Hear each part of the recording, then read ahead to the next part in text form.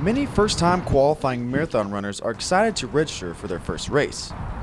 Not too often does a first-timer run a marathon without registering.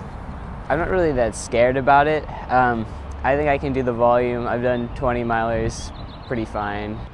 The trend of running as a bandit, a term that describes an unofficially registered runner, began in the early 1970s.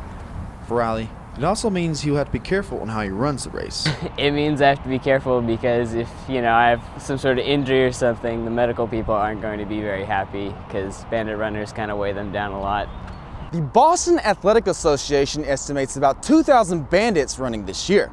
With no guaranteed medical assistance, Riley believes his training makes copying a previous runner's bib number worth the risk. Riley has been taking a class on how to run a marathon, led by Jennifer Battolino. The students typically run 50 to 60 miles a week to prepare. You have to find time to run three or four hours at one point during the day.